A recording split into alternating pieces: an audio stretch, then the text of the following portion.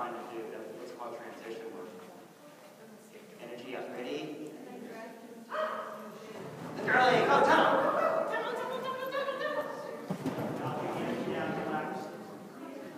Keep up, okay, keep up. Again, go. Relax it. Keep on, go.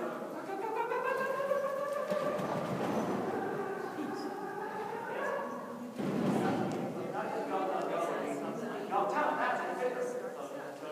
Go, go, go, go, go. Time it. Um, no, you can't. Okay, so when you're doing stuff, um, it's, it's not just about go, go, go. Energy itself isn't, isn't what you say, it's, it's, all, it's how you say things. So when, when you're going to do stuff, like if you're adding, adding energy to you would be something. Go tunnel. It should be go, go, go. Go tunnel. Yeah, that's it. Good girl. So I can add the energy at my phrase, but I'm still adding energy to my phrase.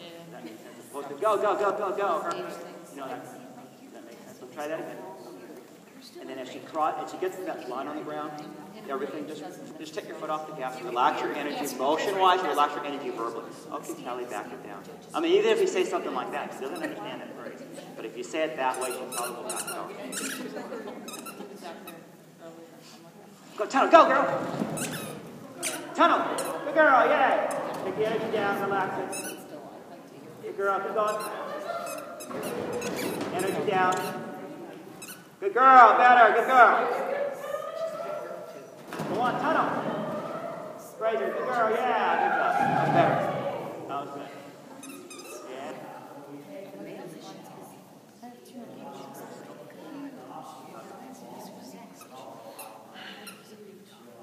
Not jump, take a differently. You're not going to keep going in and bring it tunnel. You got to, you know, make it and, and, and, you know, make a turn or something like that. Does that make sense?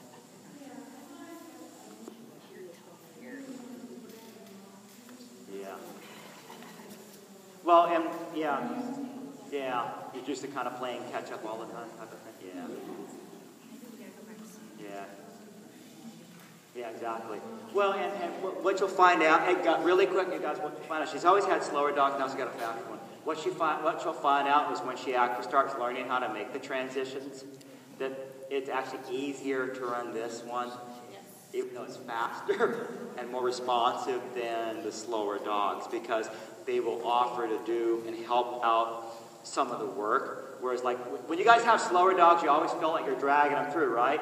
And it always feels like I'm doing a hell of a lot of work for for for only a modest gain, right? But when you have dogs like Callie, once they understand how to make the transition, and once the handler is able to communicate to Callie how to do it, it's actually going to be a lot easier to run because she will do a lot of the work for you.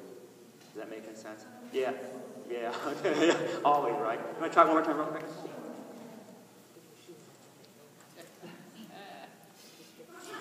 Energy up, keep it up. Go, energy, tunnel. Relax it. Good girlie. Keep going. Relax. Good girl, keep going. So get out of the way here. Energy, go, move.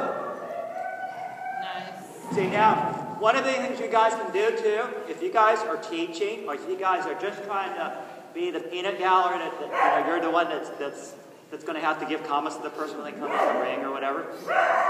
Close your eyes and listen.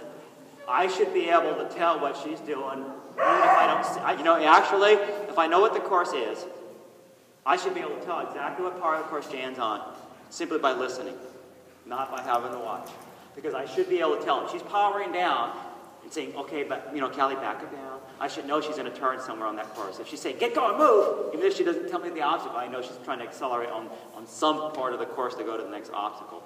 And the reason why we're doing both visual and verbal cues is because we do need both of them. Everybody wants to just use motion only a lot. And the problem is that you're going to be in a gray zone where it's not going to be so easy to interpret what it is you're doing.